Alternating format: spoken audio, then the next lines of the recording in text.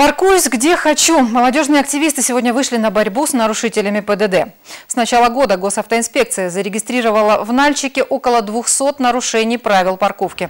Наиболее проблемными остаются улицы Пушкина, Кишокова, Горького и проспект Ленина. За первые полчаса акции листовки с призывом правильно размещать свой автомобиль оказались на нескольких десятках автомобилей. Одни водители восприняли это адекватно, другие пожелания попросту проигнорировали. Здравствуйте, у нас сегодня проходит акция «Паркуйся правильно». Ну, Сегодняшняя акция – это всего лишь старт.